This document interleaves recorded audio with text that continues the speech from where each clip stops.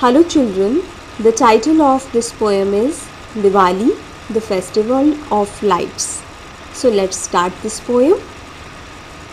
It's the festival of lights today. It's again the day of Diwali. It's time to dress up folks. It's time to adorn the thali.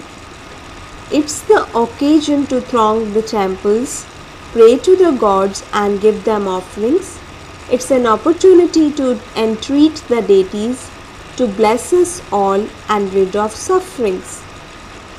It's the day to light the diyas, ignite the rockets and burst crackers, but it's also the time to be safe from the fireworks and all the sparklers.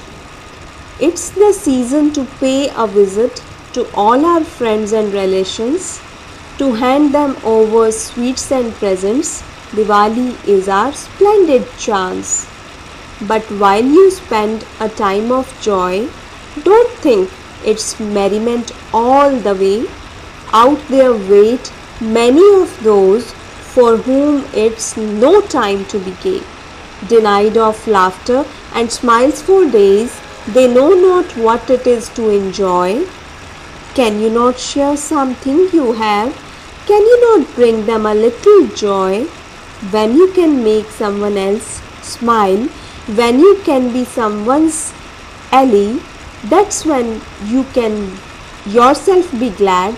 That's when you will have a happy Diwali. Thank you.